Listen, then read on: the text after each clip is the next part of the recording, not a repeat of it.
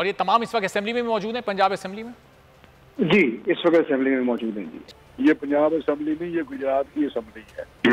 गुजरात की जिला काउंसिल बनी हुई है। असेंबली में जो लोग मौजूद हैं वो असेंबली के मेंबरान नहीं है? नहीं है। वो कहते हैं कार्ड दिखा के दिखा रहे हमें। सोलह सत्रह या दस बारह जितने भी इन्होंने किए हैं ये बड़े मास्टर हैं ये सांगा तो शरीफ आदमी है इनको तो पता ही नहीं। जो है वो काफली है। एक सौ सतासी मेंबर तो भाई एक सौ सतासी गिनते क्यों हो? ऐवान में खड़े करो काम खत्म।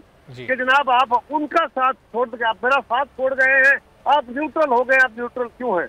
आप मेरा साथ दीजिए। आप इस हुकूमत को चलता कीजिए। आप इलेक्शन कराइए। सुबह से ही हम देख रहे थे कि राना सनाउल्ला साहब गवर्नर राज की बात कर रहे थे। वो कह रहे थे कि मैं पंजाब में हूँ पंजाब से जाऊँगा तो पंजाब हुकूमत लेकर जाऊँगा। अच्छा। तो अगर वो जमीर जागते हैं तो फिर सबके सामने जागना चाहिए। हम्म। ये कुछ मसाइल होते हैं जिसकी वजह से इस तरह की बातें फिर क्रेडिबिलिटी उनकी बन जाती है कि जनाब ये पैसा चला है। सब्सक्राइब करें और बेल दबाएँ ताकि कोई खबर रह न जाए।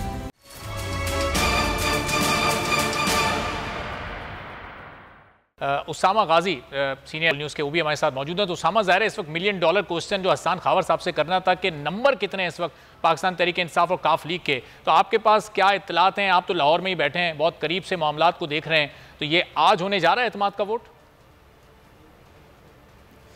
लग तो ये रहा है बयान से भी नज़र आ रहा है कि आज पूरी कोशिश है इस वक्त तरीके इंसाफ की और प्रेजलाई साहब की कि किसी तरह से आज ही अतमाद का वोट ले लिया जाए और इसको मज़ीद लिंगर ऑन ना किया जाए। लेकिन अजीब बात यह है, अरबाब, कि देखें सबको पता है ऑन पेपर अगर हम देखें कि कितने लोग तरीके इंसाफ के हैं, काफ लीग के हैं, उनके पास नंबर पूरे होने चाहिए। लेकिन बदकस्मती हमारी सियासत की है कि यहाँ पर ख़रीदो फ़रोख्त आखिरी दिन तक जारी रहती है। आखिरी दिन तक हो सकता है रेट बढ़ जाए। राना सनाउल्ला साहब यहाँ पर मौजूद हैं दीगर लोग मौजूद हैं। अब आप खुद सोचिए कि क्या ज़रूरत है इन लोगों की कि क्या कुछ कमिटमेंट्स हुई हुई हैं वो देखने के लिए यहाँ पर आए हुए हैं कि क्या होता है क्या नहीं होता कि जो लोग अच्छा, आपके मैं वापस आता हूँ जरा हसान खावर साहब चूँकि हमें ज्वाइन कर चुके हैं जरा उनसे चंद सवाल कर लें। हसान साहब बताइएगा ये बहुत शुक्रिया बोल न्यूज़ के लिए आपने वक्त निकाला। ये जो असेंबली का इजलास इस वक्त चल रहा है, नंबर आप लोग ट्वीट कर करके बता रहे हैं कि हमारे नंबर्स पूरे हैं। एक्चुअल ये कितने हैं? एक सौ सत्तासी नंबर इस वक्त आपके पास मौजूद हैं या एक सौ सतासी नंबर हमारे पास जो है, मौजूद है। एक सौ छिहत्तर हमारे हैं, दस काफलिक के हैं और एक आज़ाद हैं। तो एक सौ सतासी नंबर जो है हमारे पास मौजूद है। सही। और हसान साहब ये आपके ये कुल मिला के आपका कोई मेंबर कोई मेल या फीमेल ऐसा मेंबर नहीं है जो कि बिका हो जिसने पैसे ले लिए क्योंकि कल कुछ इस तरह की अपडेट्स आ रही थी है, है मोमना वहीद की एग्ज़ाम्पल आपने सुनी अगर कोई और अगर कोई और भी था। देखिए हमारे वैसे तो तादाद जो है एक सौ अस्सी है ना पीटीआई हम्म। के जो रुकन है। मैं इसलिए आपसे कह रहा हूँ हमारे पास एक सौ छिहत्तर अपने हैं दस काफली के एक सौ छियासी और एक आज़ाद है तो ये मिलकर एक सौ सतासी बन जाते हैं इस वक्त जो हमारे पास मौजूद है। और ये तमाम इस वक्त असेंबली में मौजूद है पंजाब असेंबली में? जी इस वक्त असेंबली में मौजूद हैं जी। ठीक है तो हसन साहब फिर ताखिर क्यों हो रही है? अभी तो खैर आधे घंटे का ये वक्फा इससे पहले जब ये सेशन चल रहा था तो उस वक्त फिर ये कार्रवाई अभी तक शुरू क्यों नहीं की गई अतमाद के वोट की? नहीं देखिए ज़ाहिर है कुछ लोग दूर से आ रहे थे कुछ बता रहे थे कि वो रास्ते में वो पहुँच रहे थे तो इसलिए। लेकिन हमने तो ऑफ़र की थी इनको कि आप गिनती करवा लें। ये लोग तो खुद गिनती से दौड़ गए हैं। कभी ये कह रहे हैं जी इजलास मुलतवी कर दें। आप हमने तो ये भी कहा कि जी राना मशहूद की और मलिक अहमद खान की कमेटी बनाकर उनसे कहें कि आप ये गिनती पूरी कर लें। लेकिन वो गिनती पूरी नहीं करना चाह रहे। वो तो चाह रहे हैं किसी तरह भागने का रास्ता मिल जाए इस वक्त अच्छा वो क्या भागने का रास्ता ढूँढने चले। राना तनवीर नून के सीनियर रानुमा हमारे साथ मौजूद है उनसे जान लेते हैं। राना साहब ये पंजाब असेंबली से आपके तमाम साथी क्यों भागना चाह रहे हैं? नंबर आपके पास पूरे नहीं है क्या? कोई नहीं भागना चाहते। देखें बात यह है कि ये लोग बड़े मैनिपुलेट करते हैं चीज़ों को। पहले भी आपको पता है ये पंजाब असम्बली नहीं ये गुजरात की असम्बली है। गुजरात की जिला काउंसिल बनी हुई है।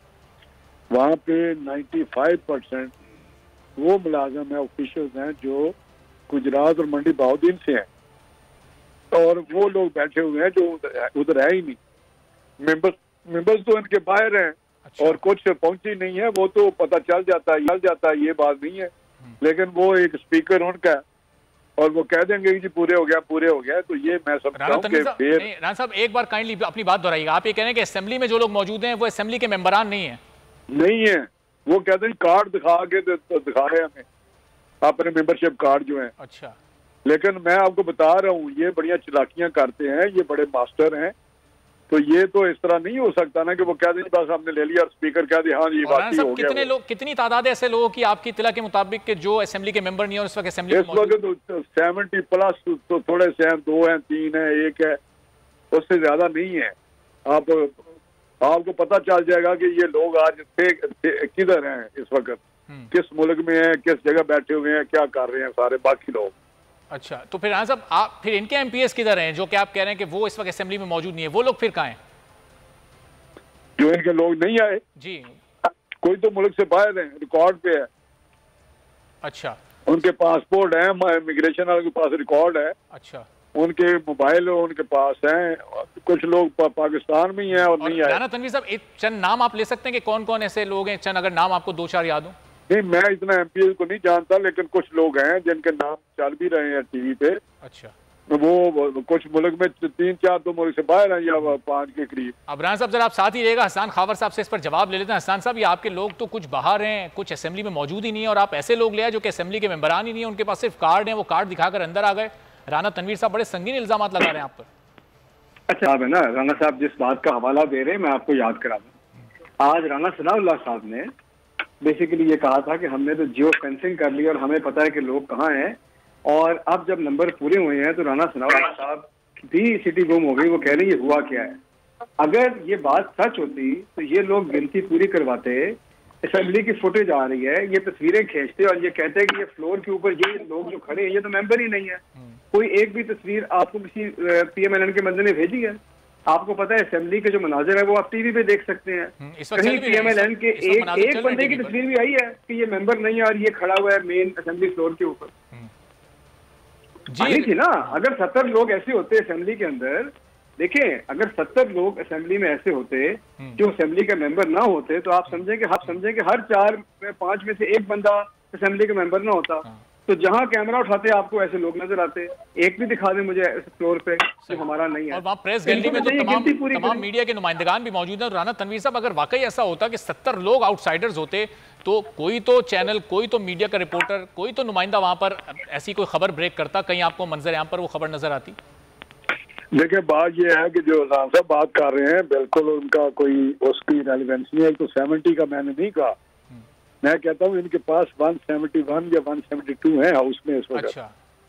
बाकी जो मेंबर्स हैं सोलह सत्रह मेंबर आउटसाइडर हैं। आप कह रहे हैं? सोलह सत्रह सोलह सत्रह या दस बारह जितने भी इन्होंने किए हैं ये बड़े मास्टर हैं ये सांसा तो शरीफ आदमी है इनको तो पता ही नहीं। ये लोग करते क्या है किस तरह ये सारी गिनती क्या है इस वक्त यहाँ पर पंजाब असेंबली के अंदर? आपके मेंबर्स कितने हैं? हमारे मेंबर की तो ज़रूरत नहीं है ना जी। आप हमारे मेंबर तो तब है जब आपने वोट और नो कॉन्फिडेंस किया हो। तो तो तो राणा साहब फिर इस तरह से जब आप कह रहे हैं कि अब इजलास को मुलतवी कर दे रोक दे ये अमल होने ना पाए तो उसकी रीजन सिर्फ़ यही है कि इनके मेंबर्स कम है मेरी मेरी बात सुने। जब हमने अदम एतमाद किया था ना तो अपने हर मेंबर्स को कहा था कि आप लेके आएँगे एक एक कार्ड अपना। हम्म। जो नेशनल असम्बली का मेंबरशिप कार्ड है वो साथ लाएँगे। आप इंश्योर करेंगे कि को फ़ोन करके फिर जाने से पहले चेक किए कि सबके पास है। हम्म। और इवन ये कहा था आईडी कार्ड भी और साथ नेशनल असम्बली का कार्ड भी।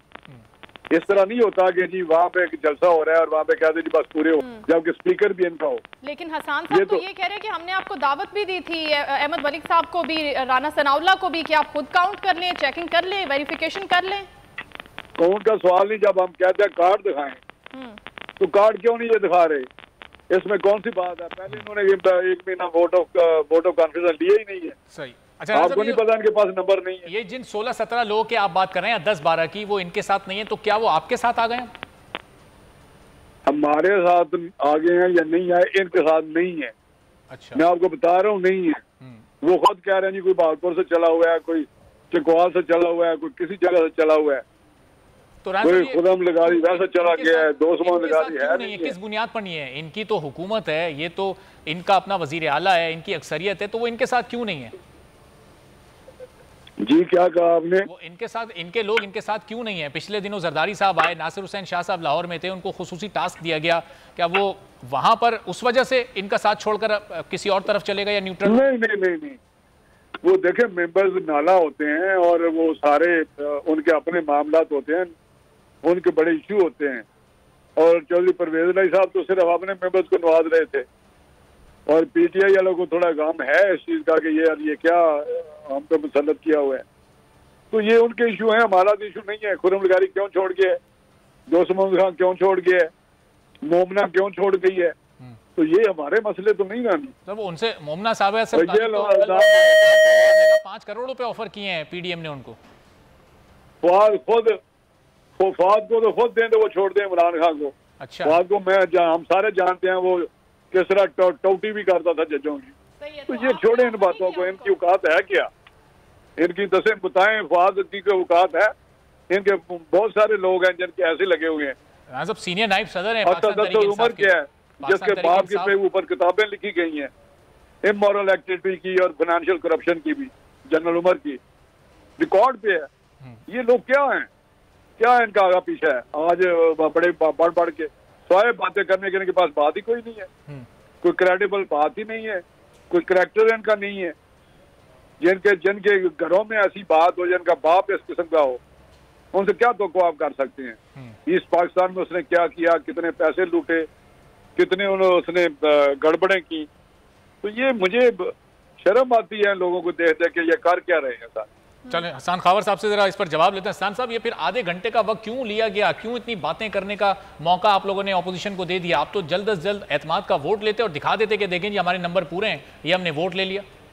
देखिए एतमाद का वोट भी हो जाएगा। वो तो हमारी उस पर तो पोजीशन पहले दिन से बड़ी क्लियर है लेकिन मैं ये कह रहा हूँ आपको कि देखिए आधा घंटा जरा बात भी करने दें इनको कोई बात नहीं। असेंबली के फ्लोर पे आके बात करें ना वहाँ तो नहीं कर रहे। वहाँ तो लोग गिनने को तैयार नहीं है। देखिए एक बात मैं इन ऑन इन प्रिंसिपल आपको बता दूँ।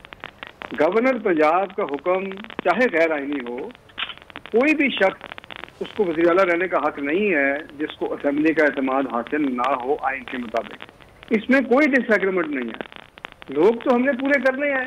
नहीं अगर पूरे करेंगे तो वो नहीं रहेंगे वजी अला फिर आइन के मुताबिक आगे चीज़ें चलेंगी। लेकिन मैं आपको ये बता रहा हूँ कि ये जिस प्लान पे ये लोग चल रहे थे वो प्लान हो गया खत्म।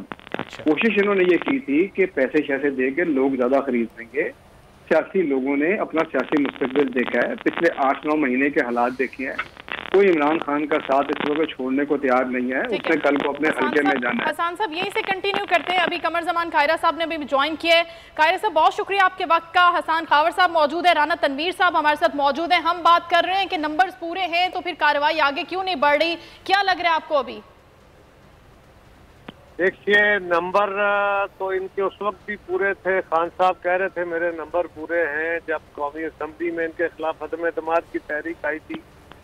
आपको याद होगा कि खान साहब ने कहा था, अब ये मेरे काबू आ गए हैं तहरीक पेश करके, मैं इनको छोड़ूँगा नहीं। ये भी आपको याद होगा। फिर आस्ता आस्ता इनको याद होगा कि उन्होंने कहा था, मेरे लोग टूट गए हैं, फिर बिक गए हैं, फिर पता नहीं क्या क्या इल्ज़ाम है। भाई बड़ा सिंपल कुलिया है। गवर्नर ने आपको एतमाद का वोट लेने का कहा और इसलिए कहा। ये काम गवर्नर साहब आपको दो महीने पहले भी कह सकते थे। चीफ मिनिस्टर साहब को गवर्नर साहब ने ये काम इसलिए कहा कि आपने ऐलान कर रखा है कि हम पंजाब असम्बली डिजॉल्व कर देंगे कुछ जुमे वाले दिन क्या आपके पास वो अक्सरियत है जिसकी बुनियाद पे आप इतना बड़ा फैसला लेने जा रहे हैं? आप एक असेंबली पे हमलावर होने लगे। आप एतमाद का वोट दीजिए अगर आपके पास अक्सरियत है तो बिस्मिल्लाह फैसला कर दीजिए आपका आईनी हक है। वो चीफ मिनिस्टर का आईनी इख्तियार है असेंबली डिजॉल्व करने का जो है एडवाइस देना। लेकिन उसके लिए एक गवर्नर का भी ये इख्तियार है कि वो पहले सर्टेन कर ले कि बंदा इतना बड़ा फैसला करने जा रहा है। क्या उसके पास ये मेजोरिटी है जिसको अपने आप पे ये फैसला होना है? अब इस पे इस पे तो कोई किसी को एतराज़ नहीं है। ना कोई इस पर एतराज़ उठा सकता है कि ये गवर्नर का आईनी इख्तियार नहीं है एतराज़ उठा के जी गवर्नर जब आपने एतमाद का वोट नहीं लिया तो आपको डी सीट कर दिया गया। दोषी तो किया गया। वो मामला अदालत ने आज अदालत ने भी आपको कह दिया। वही बात जो गवर्नर साहब ने कही थी अदालत अदालत ने आज आपको कहा कि चौबीस घंटे हैं उसमें आपने एक सौ छियासी वोट साबित करने हैं। कर दीजिए दीजिए। तो भाई अगर आपके पास वोट थे और हैं तो ये बहस क्या है? फिर गालियाँ किस बात की हैं? फिर मुगलजात क्यों है? फिर ये झाग मुँह से क्यों फूट रही है? फिर क्यों ये सारे जहान के ड्रामे और इल्ज़ाम हैं? सीधा सीधा अजलास बुलाइए। अजलास स्पीकर साहब भी आपके हैं। अजलास बुलाइए वोट गिनिए कहिए जनाब ये एक सौ सतासी हमारे एक सौ वोट है। जो स्पीकर साहब है उनका वोट भी गिन लीजिए। और अल्टीमेटली काम खत्म हो जाए उसके बाद आप एडवाइस दीजिए सभी तोड़ लीजिए। यही कर सकते हैं आप। लेकिन वोट पूरे हैं वोट पूरे हैं वोट पूरे हम तो नहीं कह रहे। हम नहीं कह रहे हमारे पास असेंबली की मेजोरिटी बिल्कुल हम नहीं कह रहे। ये कह रहे हैं हमारे पास आज भी फवाद ने कहा है कि हमारी पार्लिमानी पार्टी की मीटिंग में एक सौ सतहत्तर मेंबर आए। आपने भी सुना होगा। जी। सुना आपने? और सुना है ना जी? जी जी। और आज उन्होंने ट्वीट अभी ट्वीट भी किया कि एक सौ सत्तासी मेंबर इस वक्त असेंबली में भी हैं। एक एक मिनट जरा। एक मिनट। उन्होंने कहा एक सौ सतहत्तर वो हैं और दस जो है वो काफली है। एक सौ सतासी मेंबर तो भाई एक सौ सतासी गिनते क्यों हो? ऐवान में खड़े करो काम खत्म। नहीं है। झूठ बोल रहे थे आज भी झूठ बोल रहे लेकिन कायर साहब अगर अगर बिल फ़र्ज़ इनके नंबर पूरे नहीं है तो फिर असेंबली के इजलास में नून लीग ये मुतालबा क्यों कर रही है कि इस इजलास को आप मौखर करें और आज इसकी कार्रवाई मुलतवी करें आज इसको ना मुकम्मल होने दें? क्या ना होने दें? नून लीग क्यों फिर इजलास को मुलतवी करने का मुतालबा कर रही है? अगर इनके पास नंबर पूरे नहीं है तो फिर तो ये खुद फंस जाएँगे ना। फिर नून लीग क्यों आज ये मुतालबा कर रही है? अभी असेंबली के इजलास में बहुत हंगामा आ रही हुई कुछ देर पहले कि आज इस इजलास को आप मुलतवी कर दें। मुझे नहीं पता लेकिन हमारी तरफ़ से तो ये हो ही नहीं सकता। स्पीकर साहब सर्टेन का वोट अजलास का तलब करें जो ये कहते हैं कि उनको स्पेशल अजलास तलब करना पड़ेगा। करें कोई जमात उसकी मुखालफत नहीं करेगी वोट ले। और छोड़िए अपोजिशन शोर करती रहती है। आप अपने मेंबर खड़े कर लें आप तहरीक पेश करें अपोजिशन की बात ना सुने। बता दें ये एक सौ छियासी मेंबर हमारे खड़े और कायर साहब इनके ज़ाहिर ये भी इल्ज़ाम हैं पीपल्स पार्टी पर खासतौर पर जरदारी साहब यार एक तो ये ये इल्ज़ाम को छोड़ दीजिए। ये हाँ। गालियाँ देने का रिवाज तो अपनी जगह है ना। हाँ। एक सौ सत्तर मेंबर इनके पूरे हैं और वोट इनके असफ जरदारी साहब ने खरीद लिए। दस वोट काबली के पूरे हैं और असफ असफ जरदारी साहब ने फरिश्ते खरीद लिए इनके। क्या किया यार? ये मुखलजात हैं आ, इन, इनको ही करने दें आप रहने दें इसको। हम्म। या ये या ये उस तरह झूठ बोल रहे हैं कि इनके एक सौ सत्तर मेंबर हैं या ये ये झूठ बोल रहे हैं कि वो वोट खरीद रहे हैं। कोई एक बात तो गलत है ना। तो कायर साहब ज़ाहिर सवाल इनसे भी कर रहे हैं और इनके जो फिर इनके जवाब होते हैं वो आपके सामने रखकर आपका भी उस पर मौकफ लेने की कोशिश करते मैं तो आपसे ये पूछ रहा हूँ कि भाई बात आप लॉजिकल कर रहे हैं ना आप खुद देख लीजिए। मैं अगर इन लॉजिकल हूँ मुझे कहिए भैया शटअप आप गलत बात कर रहे हैं। हम्म, ये भी आपका काम है। ये भी आपका काम है कि कौम को हकायक बयान करे बिल्कुल दुरुस्त है। हम्म, लेकिन यार एक बात देखिए एक तरफ़ एक बंदा खड़ा होकर कह रहा है जी आज हमारी पार्लिमानी पार्टी में एक सौ सत्तर मेंबर थे। हम्म। दस मेंबर काफ लीग वालों के पूरे एक सौ सतासी। तो फिर जरदारी साहब ने कौन खरीदे हैं? वो तो नहीं वो ये कह रहे हैं कि नाकाम हो गए कोशिश तो की लेकिन वो सियासी लोग थे उन्होंने अपना सियासी मुस्तकबिल कोई बात कोई एक बंदा कहे कोई एक बंदा कहे बारी साहब ने मुझे कमल जमान ने मुझे पीपल्स पार्टी के फलाम बंदे ने कहा। हम्म, अच्छा इलेक्शन पीपल्स पार्टी नहीं लड़ पार्टी नहीं लड़ रही। कैंडिडेट मुस्लिम लीग है वोट जरदारी साहब खरीद रहे हैं। हम्म, भाई जरदारी साहब अगर लाहौर आते हैं तो आपको कलश पड़ जाता है। ये क्या बात हुई? आपके पास सबूत है सामने लाइए। हम्म। ये वही बातें हैं कि जब कल आप फौज के ताबेदारी थी आज भी फौज की ताबेदारी आज भी सिर्फ़ यही मांग रहे हैं ना कि जनाब आप उनका साथ छोड़ के आप मेरा साथ छोड़ गए हैं। आप न्यूट्रल हो गए, आप न्यूट्रल क्यों हैं? आप मेरा साथ दीजिए। आप इस हुकूमत को चलता कीजिए। आप इलेक्शन कराइए। आप ये देखिए। भाई, इनका क्या ताल्लुक है? सही। अच्छा साहब आज भी कर रहे हैं। कायर साहब साथ ही रहेगा। जमील फारूकी सीनियर का पर्सन भी ज्वाइन कर चुके हैं लेकिन जरा समी साहब से पहले मैं सवाल करूँ। समी साहब कायरा साहब की गुफ्तु आपने सुनी। और अब वो कह रहे हैं कि अगर नंबर आपके पूरे हैं तो फिर आप वोट लें एतमाद का और सबके सामने आ जाएगा। पार्लिमानी पार्टी में जब लोग पूरे थे असेंबली के इजलास में भी लोग पूरे हैं तो फिर एतमाद का वोट क्यों अभी तक नहीं लिया जा रहा? इस पर आप जरा समी साहब तबसरा फरमाइए। बड़ी बड़ी बड़ी अच्छी बात की है कमर जमान कायरा साहब ने लेकिन ये जो अभी इजलास हो रहा है ये वोट के लिए ही तो हो रहा है। ये जो है, किसी बिल को पास करने के लिए तो नहीं हो रहा इस वक्त इजलास। घंटे, आधे घंटे का वक्फा है, उसके बाद ये तो पीडीएम की जो इनकी इतिहादी जमात है, नून लीग वाले, वो कह रहे हैं कि इजलास मुलतवी कर दें। तो उनके पास नंबर हैं और ये इजलास जारी है और वोट के लिए ही ये इजलास हो रहा है। तो थोड़ा सा इंतज़ार कर लें, इसमें तो परेशानी की बात नहीं लेकिन मैं वेरी हम्बली मैं कायरा साहब की इस बात में, इस दलील में बड़ा वज़न है ये, कि अगर जरदारी साहब खरीदने की कोशिश कर रहे थे तो ये जो सारे अरकान हैं, ये तहरीक इंसाफ के साथ क्यों हैं? तो ये बात इसमें उनका एक बड़ा वज़न है, लेकिन जो खरीदो फरोख्त की जो बात हो रही है ना, वो बुनियादी तौर पर जब इमरान खान की हुकूमत को गिराया गया तो वो सिंध हाउस जैसे इस्तेमाल हुआ लोगों के लिए, वहाँ पर जिस तरह लोगों को रखा। सारी बात थी, ये उस कंटेक्स्ट में फिर जब इस तरह की बात आती है तो इस पे फिर लोग इसमें महसूस करते हैं कि हो सकता है कोई इस तरह की बात हो रही हो। तो इसलिए ये माजी में ये जो पूरी पॉलिटिक्स जिसमें लोगों को खरीदा गया लोगों को रखा गया वसाइल इस, इस, वो इस्तेमाल किए गए तो उसमें पीपल्स पार्टी और नून लीग अपना जो उनके दामन पर जो छींटे हैं उससे तो वो इनकार नहीं कर सकते ना। कारा साहब बड़े माशाल्लाह वजादार आदमी है।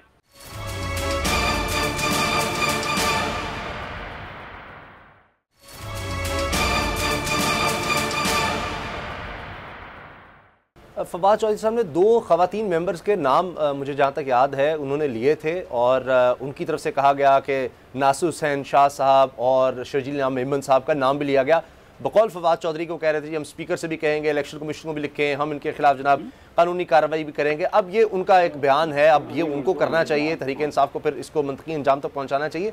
लेकिन अगर हम देखें, ये बातें इसलिए होती हैं कि पीपल्स पार्टी और नून लीग छांगा मांगा की सियासत, एक दूसरे पर इल्ज़ाम लगते रहे, मरी हाउस के जी लोगों को लेकर जाना, भर देना, ये सब हुआ।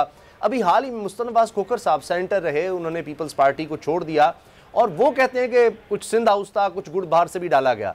और वो फिर ये खुद कहते हैं कि किस तरह से इमरान खान के खिलाफ जो अदम अतमाद हुआ है, वो किस तरह हुआ, वो मुस्तफ़ा नवाज़ खोकर साहब खोल खोल कर बयान करते हैं कि सारा क्या हुआ इस्टेब्लिशमेंट का क्या किरदार था क्या किया गया, वो सब बातें। और हाल ही में वो थे, और उसमें वो आई विटनेस भी हैं। तो फिर अब किसकी बात मानी जाए? तो ये सब चीज़ें हमारी एक बदकस्मती है कि हमारी सियासत का हिस्सा हैं। ये चीज़ें हो चुकी हैं। और उसके बाद वो लोग बाद में काफ़ी सालों के बाद सामने आते हैं। अगर आप चौधरी शुजात साहब की किताब पढ़ लें तो उसमें नज़र आता है कि नून लीग की तरफ़ से या शरीफ बरदरान ख़ानदान की तरफ़ से क्या कुछ किया जाता रहा है। तो ये एक माजी है और उसकी वजह से फिर ये सब बातें होती हैं। और अगर सबूत ना भी सामने आए तो फिर वो लोगों में क्रेडिबिलिटी चल जाती है कि अभी तो कुछ नहीं हो सकता। लेकिन 10 साल 15 साल बाद पता लगेगा कि ये सब कुछ हुआ है। लोग खरीदे गए, इस तरह से गिराया गया। जिस तरह पीपल्स पार्टी कहती रही कि जनाब उसाम बिन लादेन जो है, उसके पैसे नवाज़ शरीफ साहब ने इस्तेमाल किए बेनज़ीर साहबा के खिलाफ। तो ये सब माजी है। तो आज ज़ाहिर है चार्ट ऑफ़ डेमोक्रेसी हुआ और पीपल्स पार्टी या नून डी को लगा कि अब इकट्ठे चलना है तो वो अलग बात। लेकिन माजी जुटलाया तो नहीं जा सकता, खत्म तो नहीं किया जा सकता। तो उसकी वजह से फिर जब माजी में एक चीज़ हो गई हो तो फिर उसको एक क्रेडिबिलिटी तो मिलती है कि हाँ ये हो चुका है, हमारी सियासत में ये सब होगा, फिर बयान भी अभी मैंने आपको हाल ही मिसाल दी मुस्तनवाज खोकर साहब की मिसाल है। तो फिर ये जब चीज़ें होती हैं तो फिर लोगों में आता है कि हाँ जी, ये हुआ होगा, ये आए होंगे, माजी में भी हुआ है तो इसी वजह से है। तो वरना और समझ नहीं आती कि किस तरह आज जो सर्वेज हैं, उसमें तो नहीं नज़र आता कि लोग पीडीएम की तरफ़ जाएँगे। तो वो किस लिए जा रहे हैं? कहीं मरीम साहब कहती थी हमारा टिकट चला है। अब वो यूसुफ जगरानी साहब वैसे तो बन जाते हैं सेनेटर लेकिन जब इमरान खान साहब सामने आते हैं कि जी इतमाद का वोट लेंगे जहाँ सामने होनी है तो अगर वो जमीर जागता है तो फिर सबके सामने जागना चाहिए। हम्म। ये कुछ मसाइल होते हैं जिसकी वजह से इस तरह की बातें फिर क्रेडिबिलिटी उनकी बन जाती है कि जनाब ये पैसा चला है। उसामा इसी पर जमील फारूकी का पॉइंट लेते हैं। जमील सारी गुफ्तु आप सुन रहे हैं। आप क्या समझते हैं कि यही बात दुरुस्त है यही बात हकीकत है कि ये चीज़ें इसी तरह से चलती रही है और आप जितना भी इनकार कर ले ये बहरहाल हकीकत है कि ऐसा होता है और हुआ भी होगा इस बार भी हुआ होगा। जमील। बहुत शुक्रिया शाइस्ता। सबसे पहले तो आज पाकिस्तान के अंदर जो कुछ हुआ है उसके ऊपर बात करना बड़ी ज़रूरी है। हम्म। सुबह से ही हम देख रहे थे कि राना सनाउल्ला साहब गवर्नर राज की बात कर रहे थे। वो कह रहे थे कि मैं पंजाब में हूँ पंजाब से जाऊँगा तो पंजाब हुकूमत लेकर जाऊँगा। अच्छा जमील माजत के साथ आपको रोकना पड़ेगा। फरूख हबीब साहब पाकिस्तान तरीके इंसाफ के सीनियर रहनुमा हमारे साथ मौजूद हैं जरा। फरूख साहब बहुत शुक्रिया। बोल न्यूज़ के लिए आपने वक्त निकाला। ये बताइएगा कि एतमाद का वोट आज ही लिया जाएगा या में कहीं कोई तब्दीली हुई है?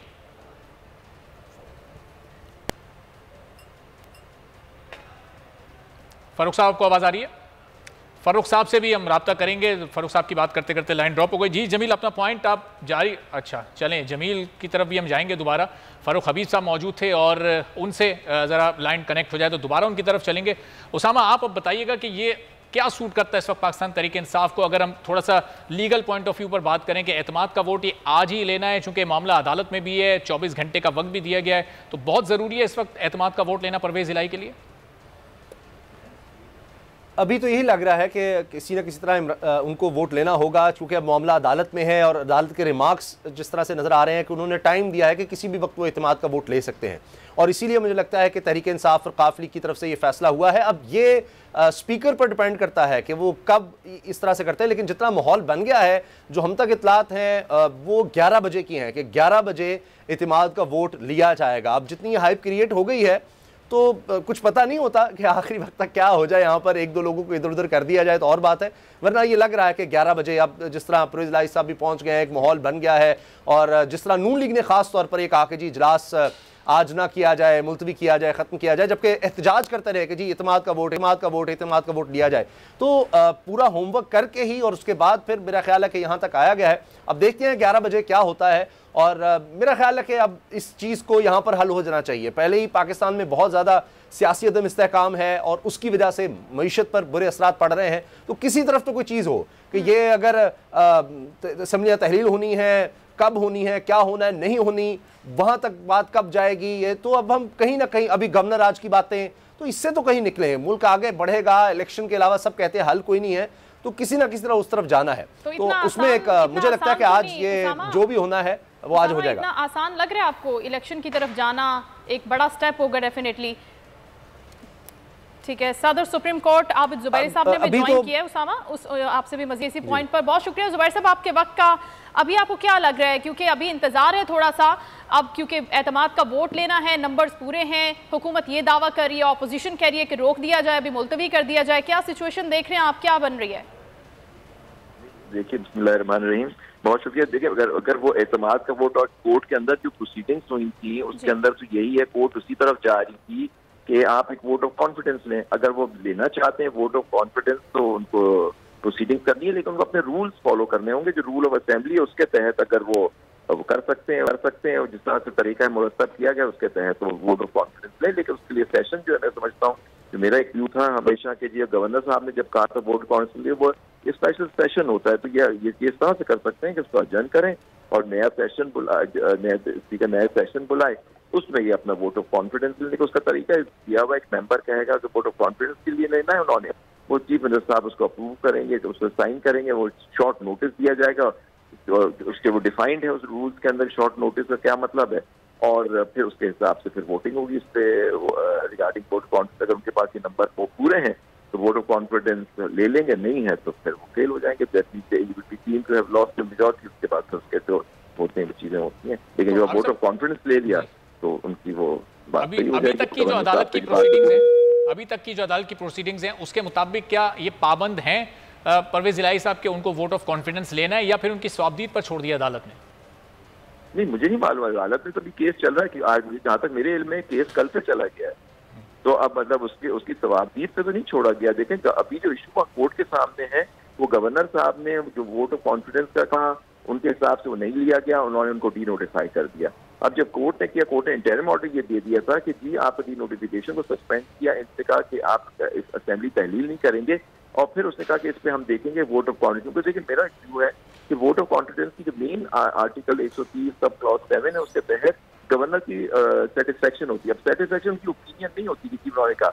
उनको, उनके पास कोई ऐसी इन्फॉर्मेशन होनी चाहिए जो जिससे वो उनके नतीजे पहुँचे कि ये इनके पास अक्सरियत खो चुके हैं असेंबली में। फिर गवर्नर इस फिर गवर्नर कह सकते हैं उनसे कि आप vote of confidence chief minister से। ये ये एक कंडीशन प्रेसिडेंट है वोट ऑफ़ कॉन्फिडेंस के लिए। अगर देखिए, अगर कोर्ट में अदालत में अगर मामला है तो कोर्ट उनसे पूछ सकती है कि आपके पास क्या इन्फॉर्मेशन थी। मेयर रेजिग्नेशन या ये कुछ नहीं, उस पर तो जजमेंट है। वट्टू साहब की केस की उसके अंदर ये चीज़ें नहीं होती हैं, उसके आप तो कई लोगों ने रिजाइन कर दिया था। तो फिर ये सारी चीज़ें कोर्ट डिसाइड करेगी। लेकिन अगर अगर देखिए कोई कोई उनके ऊपर कोई कदगन नहीं है चीफ मिनिस्टर साहब पे असेंबली में कि वोट ऑफ़ कॉन्फिडेंस नहीं ले चला। वो आज या कल या परसों जब भी लेना चाहें, वो आप तरीका है, उसको फॉलो करें रूल्स के हिसाब से जो रूल्स हैं पंजाब असेंबली के उसके तहत वो वोट ऑफ़ कॉन्फिडेंस की प्रोसीडिंग कराएँ। सही। और फिर अभी अभी तो अब बड़ा क्लियर है कि क्योंकि अब ये मजीद समात कल होगी तो ये जब तक प्रोसीडिंग्स चल रही हैं उस वक्त तक इनके पास वक्त है। कोई पाबंदी नहीं है कि इनको आज ही लेना है और आज ही की तारीख में लेना है। देखिए अगर लेना चाहिए देखिए ये तो उनके ऊपर है उनकी सवाब है ना मतलब कि चीफ मिनिस्टर किसी देखे मैं एज चीफ मिनिस्टर हो कोई भी चीफ मिनिस्टर किसी वक्त भी वोट ऑफ़ कॉन्फिडेंस की प्रोसीडिंग कर सकता है। खुद भी ले सकते हैं। तो अब यहाँ तो कोई गवर्नर साहब का इशू था गवर्नर उनसे कहा था वो आज आज आज वो अगर लेना चाहते हैं वो उसका तरीका कहा मुरतब किया उसके तहत तो आज करें कल करें जो का तरीका कहा। और अभी साहब आज अगर ये ले लेते हैं ये एतमाद का वोट तो फिर उसके बाद कहीं कोई जो कानूनी कदगन है फिर कोई कॉम्प्लिकेशन नहीं होगी इनको असेंबली तहलील करने में असेंबली को डिजोल्व करने में? देखिए वोट ऑफ़ कॉन्फिडेंस ले लेते हैं तो फिर कोई नहीं देखिए वो वो अलग प्रोसीडिंग है वो एक आर्टिकल आ जाता है उसके तहत गवर्नर पाबंद है चीफ मिनिस्टर की एडवाइस पे कि चीफ मिनिस्टर एडवाइस करेगा तहलील करने के लिए। वो उसकी, उस पर वो एडवाइस कर सकते हैं। लेकिन यहाँ क्योंकि अब इशू वोट ऑफ़ कॉन्फिडेंस आ गया था नो कॉन्फिडेंस जो मोशन थी वो वापस ले ली गई थी। तो अब इनके ऊपर होगा कि वोट ऑफ़ कॉन्फिडेंस ले लिया तो फिर कोई पाबंदी नहीं होगी इन पे कि वो तहलील करना चाहें। असेंबलियों को अंडर दी कॉन्स्टिट्यूशन की और फिर ऑपोजिशन के पास क्या लीगल ऑप्शन होगा उसके बाद इनको रोकने का असेंबली की डिसॉल्व करने से? नहीं वो तो मेरे ख्याल से तो फिर अब उनका इशू ये था अब इस पर इतनी बहस हुई है इतने पोलराइजेशन हुई कि वोट ऑफ़ कॉन्फिडेंस अब उन्होंने वोट ऑफ़ कॉन्फिडेंस ले लिया। वो ले लेते हैं वोट ऑफ़ कॉन्फिडेंस तो फिर उनके पास उसकी कोई कानूनी क्या तरीका हो सकता है? तो ओनली वे हो सकता है कि आप उसको चैलेंज करेंगे कि वो तहलील ना करें लेकिन आइन एक इख्तियार देता है चीफ मिनिस्टर को कोर्ट्स को भी देखिए ट्राइकॉन्डमी ऑफ़ पावर है कोर्ट्स भी देखेंगे कि जी एक हक है आईनी हक जो उनको दिया यहाँ आप, आप बात कर रहे थे गवर्नर के आईनी हक की कि वो चीफ मिनिस्टर से कह सकते हैं वोट ऑफ़ कॉन्फिडेंस तो वो वही आइन चीफ मिनिस्टर को भी ये पावर देता है कि वो असेंबली तहलील कर सकता है। सही। और फिर क्या नो कॉन्फिडेंस मोशन उसके बाद तो फिर मूव नहीं शायद करने की ज़रूरत रह जाएगी या लीगल ऑप्शन उसका रहता अगर है? देखिए मेजोरिटी उनको मिल जाती है वोट ऑफ़ कॉन्फिडेंस लेते हैं तो उसके बाद vote of no confidence move करना मैं तो समझता हूँ कि वो सही नहीं होगा। और अभी इन्होंने मोशन अपनी वो वापस ले ली थी। और जो गवर्नमेंट चीफ मिनिस्टर किसी वक्त भी वो कर सकते हैं। हाँ अगर फिर उनके, अगर उनके पास समझते हैं कि वो कर सकते हैं तो वो कोई कानूनी इख्तियार उनके पास मौजूद है वो नो कॉन्फिडेंस मूव करें। लेकिन अगर नो कॉन्फिडेंस मूव हो जाती है, फिर फिर चीफ मिनिस्टर एडवाइज नहीं कर सकते गवर्नर को तहलील करने के लिए असेंबली ठीक है, चलें, आबिद जुबैर साहब, साथ ही रहेगा जरा तो समी साहब आबिद साहब ने तो बड़ी वाजे सूरत हाल कर दी कि अगर ये आज एतमाद का वोट ले लेते हैं तो उसके बाद फिर अपोजिशन के पास कहीं कोई कोई लीगल ऑप्शन रह नहीं जाएगा इनको रोकने का। फिर ये असेंबलियाँ डिजोल्व करने में बड़ी आसानी के साथ कोई भी फैसला ले सकते हैं। गालबन समी साहब भी हमारे साथ समी साहब तक आवाज़ जा नहीं रही शायद। तो उसामा, यही आपकी तरफ़ मैं सवाल लेकर आता हूँ कि फिर ये तो आज अगर ले लेते हैं एतमाद का वोट तो फिर जिस तरह शेख रशीद साहब कह रहे थे कि कल परसों जब भी चाहेंगे, फिर तो असम्बलियाँ तहलील कर सकते हैं, फिर कहीं कोई कानूनी तौर पर रुकावट मौजूद नहीं होगी। यकीनन, और आप देखेंगे उसके बाद एक अरसे तक ऐसा कुछ हो भी नहीं सकता कि कोई अदम अतमाद लाएँ कोई और सियासी तौर पर गेम खेली जा सके। और इस तरह से इमरान खान साहब और ज़्यादा मज़बूत हो जाएँगे। और फिर फैसला उनके हाथ में आ जाएगा। अब वो फौरी तौर पर असम्बलियाँ तहलील करें या ना करें, ये उनका फैसला होगा। और फिर जिस तरह सियासत में होता है टाइमिंग बड़ी अहम होती है। अगर आप देख, देखें, कुछ चीज़ें यकीनन नज़र आता है कि जी इमरान खान शायद चाहते हों, क्योंकि ये उनको पता है कि वो टाइम क्या चाहते थे, क्या उनकी सोच थी। वो असम्बलियाँ तहलील करने का उन्होंने ऐलान ज़रूर किया, लेकिन आगे चलकर वो जिस तरह चाहते हो, मिसाल के तौर पर कि अब भी वो देखना चाहेंगे कौन है जो अब भी छोड़कर जाना चाह रहा है या दूसरी तरफ़ चला जाता है। अब कई चीज़ों में सियासत में आपको बाहर शिकस्त नज़र आती है जिस तरह पीडीएम को फतह नज़र आई कि जनाब हमारी हुकूमत बन गई। लेकिन उसमें क्या हुआ कि उनकी साख जिस तरह अब बिल्कुल ख़त्म होकर रह गई है। और इमरान खान साहब के पास जो वो समझते हैं कि जनाब वो लोटे हो गए जो लोग वो छोड़कर चले गए वो सामने आ गए के साथ है कौन नहीं है। उनको लगता है कि पार्टी इससे तो मज़बूत हुई। उनसे गुफ्तगू का सिलसिला आगे बढ़ाते हैं और फिर आपकी तरफ़ वापस आएँगे। फरूख हबीब साहब व्हाट्स द प्लान अभी क्या सोच रहे हैं आपके कब लेना है वोट और क्या वोट और क्या करना है आगे? क्या सिचुएशन है पंजाब असम्बली की? देखें आज आपने मायूस ज़दा चेहरे उतरे देखे होंगे जो पिछले तीन दिन से यहाँ डेरे लगा के बैठे हुए थे। इनको पाकिस्तान के अमन अमान की कोई फ़िक्र नहीं है वज़ीर दाखिला यहाँ बैठ के जोड़ तोड़ करने की कोशिश कर रहे थे। जमीरों के सौदागर शांगा मांगा की मंडियाँ लगाने की कोशिश की गई लेकिन उसके बावजूद आज आपने देखा कि हमारे नंबर जो है वो पूरे हैं और इनके चेहरों के ऊपर जो है वो खौफ नज़र आ रहा है। ये इलेक्शन से खौफजदा हो चुके हैं। इनको पता है असम्बलियाँ तहलील होने से फौरी मुल्क के अंदर इंतबात की राह हमवार हो जाएगी और ये एन आर ओ टू की जो हुकूमत है इसका खात्मा हो जाएगा। यही वजह है कि एडी चोटी का ज़ोर लगाने के बावजूद जो है ये इनकी तरफ़ लोग नहीं जा सके। इन्होंने ज़मीन खरीदने की भरपूर कोशिश की है लेकिन इस टाइम अवाम का मूड नज़र आ रहा है। लोगों को तो सबको पता है जो लोटा बनेगा वो ज़ीरो हो जाए इस हवाले से जो भी अब की प्रोसीजरल रिक्वायरमेंट्स हैं वो पूरी की जा रही है। एतमाद का वोट हम पूरा लेंगे असम्बलियाँ तहलील होंगी और मुल्क के अंदर जो है वो इंतबात हों तो फारूक साहब आज ही एतमाद का वोट लेंगे ये ग्यारह जनवरी की तारीख में हो जाएगा? इसमें जो स्पीकर ऑफ़िस है उनका करदार है। मेरे ख्याल में इसको एजेंडे पे जो है वो लाना इस हवाले से ज़रूरी है। मेरे ख्याल में यही उसी चीज़ को देखा जा रहा है लेकिन आज का दिन था अहम दिन था इसमें नंबर पूरे करने थे नंबर पूरे हमने अपने कर लिए हैं। हमारे अरकान जो है वो मौजूद है। अक्सरियत हमारे पास है। वज़ीर अला बासानी तौर के ऊपर जो है वो अतमाद का वोट लेंगे। ठीक है और फिर असम्बली को तहलील करने के हवाले से कोई प्लान डिस्कस हुआ कि अगर एतमाद का वोट ले लिया जाता है नंबर पूरे हो जाते हैं कामयाबी मिल जाती है आपको तो फिर असम्बली की तहलील का कौन सा डेट होगा कौन सा डे होगा उस हवाले से कोई बातचीत हुई आपकी? देखिए, उस हवाले से तो हम पहले बड़ा क्लियर हैं। क्लैरिटी से ये बात जो है वो कर चुके हैं कि असम्बलियाँ करें और यही हमारा फैसला था कि हम खैबर पख्तूनख्वा और पंजाब असम्बलियाँ इकट्ठे तहलील करेंगे। तो जैसे ही ये अमल मुकम्मल होगा तो असम्बलियों के तहलील का प्रोसेस भी शुरू कर दिया जाए अच्छा फरूख साहब, चूँकि एजेंडे में अभी ज़ाहिर आज के इजलास के शामिल नहीं था अहतमाद का वोट तो अब एजेंडे में डालने के लिए क्या एक रोज़ का इंतज़ार किया जाएगा? यानी कल लिया जाएगा ये वोट? या फिर आज ही कोई भी इम्कान बनाकर मुकम्मल किया जाएगा। इस पे इस पे स्पीकर ऑफ़िस जो है वो अपना काम जो है वो कर रहे हैं और इसमें कुछ ही वक्त में जो है वो आपको बाकायदा तौर के ऊपर सकते हैं अच्छा यानी आज नहीं होगा अहतमाद का वोट फिर? मेरे ख्याल में जो है वो प्रोसीजरल साइड जो है उसकी शायद ये रिक्वायरमेंट है। अदरवाइज़ तो जो है वो एतमाद तो हो गया। असम्बली में लोग मौजूद हैं। आए हुए हैं। ये फरूख साहब ये जो एक सौ सत्तासी लोग असेंबली में मौजूद हैं ये वाकई ये जेनवन लोग हैं या आपके और काफ लीग के हैं चूँकि अभी राना तनवीर साहब ये कह रहे थे कि ये बारह तेरह लोग आप लोग वो ले आए जिनके पास कार्ड तो हैं लेकिन वो मेंबर नहीं है असेंबली के। देखे ये फिर कहते हैं ना दिल को तसलियाँ देने वाली बात। या मुल्क को बेरोजगारी के साथ ही वासिक कयूम स्पीकर पंजाब असेंबली में मौजूद हैं। वासिक कयूम साहब बहुत शुक्रिया बोल न्यूज़ के लिए वक्त निकाला सर। आज एतमाद का वोट हो रहा है एजेंडे में शामिल कर लिया इसको। जी बिल्कुल। आ, मैंने आपसे ज़िक्र किया था सरप्राइजेस का। This is again one of the surprise के मोस्ट मोस्ट मोस्ट प्रॉब्ली के आज हम थोड़ी देर के बाद एतमाद का वोट मिलेगा ठीक है इसकी प्रोसीडिंग्स कंप्लीट हो गई है। वासिक साहब जो होनी है आवाज़ बहुत कट रही है दोबारा दोबारा सवाल ये है कि क्या इसकी प्रोसीडिंग्स मुकम्मल हो गई हैं? जिस तरह से अदालती हुक्म है जिस तरह से पंजाब असम्बली की देखिए जो जो हमारा लीगल डिपार्टमेंट है उससे सारी कार्रवाई को पहले वेट किया गया कोई अनकॉन्स्टिट्यूशनल काम ना हो। और जो चीज़ असेंबली के रूल ऑफ़ बिज़नेस में मेंशन है उसके मुताबिक ये लिया जा सकता है। ठीक है तो ये आज ही ले लिया जाएगा सर? ये यकीनन बारह बज के एक मिनट पे भी हो सकता है। और ये उससे उससे पहले भी सरप्राइज़ हो सकता है। मैं अपने सरप्राइज़ को बिल्कुल मेंटेन रखना चाहता हूँ। मैंने नंबरों के हवाले से सरप्राइज़ का लेकिन वासिक साहब आपको याद होगा वासिक साहब छब्बीस दिसंबर को फवाद चौधरी साहब ने कहा था कि हम एतमाद का वोट ग्यारह जनवरी से बहुत पहले ले लेंगे। उस वक्त ये ग्यारह जनवरी तक समात मुलतवी हो गई थी। फिर इमरान खान साहब का बयान आया कि अगर ग्यारह को अदालत ने कहा तो हम उसी दिन ले लेंगे। अभी ग्यारह तारीख खत्म होने वाली है लेकिन अभी भी आप हंड्रेड परसेंट श्योर नहीं है कि आज ही ले लेंगे या नहीं लेंगे। आज भी नहीं नहीं। मैं मैं आपसे ये बता रहा हूँ कि ये भी हमारी पॉलिटिकल स्ट्रेटेजी का हिस्सा है कि हम लोग कब लेते हैं।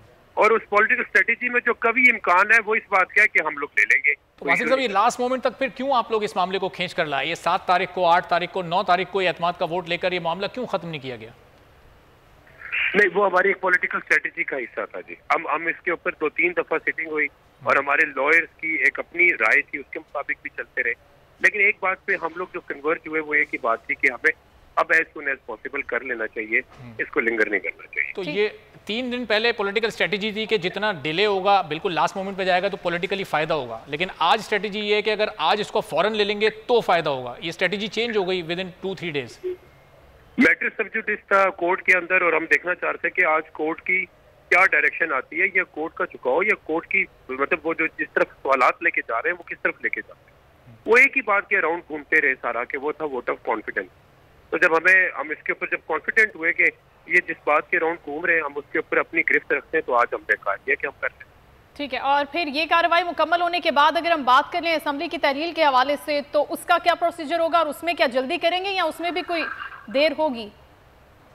देखिए वोट ऑफ़ कॉन्फिडेंस को ये लेने के बाद ना बड़ा ही छोटा सा स्टेप रह जाता है और वो सिर्फ़ सिंपल ये रह जाता है कि चीफ मिनिस्टर अपनी जगह बरकरार है और चीफ मिनिस्टर अगले अगले ही लम्हे अपनी समरी भेज देंगे गवर्नर साहब को और उसमें असम्बली को दलील कर दिया जाएगा और इसमें कोई उबाम भी नहीं है। ठीक। बहुत शुक्रिया वासिक क्यूम साहब हमारे साथ मौजूद थे और उसामा गाजी ने भी हमें ज्वाइन किया, जमील फारूकी भी हमारे साथ थे, समी इब्राहिम, फरूख हबीब साहब पाकिस्तान तहरीक इंसाफ के रहनुमा गुफ्तु कर रहे थे। आज का सबसे अहम मसला एतमाद का वोट और अभी इजलास जारी है और कुछ ही देर में आप वाजे भी हो जाएगी। बिल्कुल, एक ब्रेक लेते हैं ब्रेक के बाद वापस आएँगे। ट्रांसमिशन का सिलसिला जारी रहेगा।